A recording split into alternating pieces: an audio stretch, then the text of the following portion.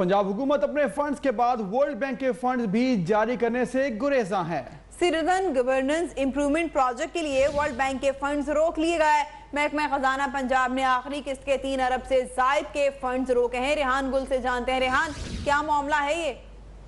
جی پنجاب حکومت نے world bank کے تعاون سے پانچ بڑے شہروں میں تعمیر و ترقی، بحالی اور گورننس کے منصوبے شروع کیے تھے، جس میں لاہور، فیصل آباد، ملتان راول پنڈی اور گجرانوالہ شامل ہیں۔ دو ہزار تیرہ میں شروع کیے گئے پانچ سالہ پروگرام کے تحت ورلڈ بینک نے ایک سو چون ملین ڈالر دینے کا وعدہ کیا تھا، جس کے تحت ان پانچ شہروں میں واسا excise and taxation development authorities اور لوکل گورنمنٹ میں کام کیے جانے ہیں۔ لیکن ورلڈ بینک کی جانب سے اس منصوبے کی تمام اقساط فراہم کر دی گئی ہیں۔ پی این ڈی کی جانب سے بھی یہ فنڈز کیے کیے گئے لیکن محکمہ خزانہ نے لاہور سمیت ان شہروں کے تقریباً تین ارب روپے کے فنڈز روک لیے اپڈیٹ کر رہے تھے۔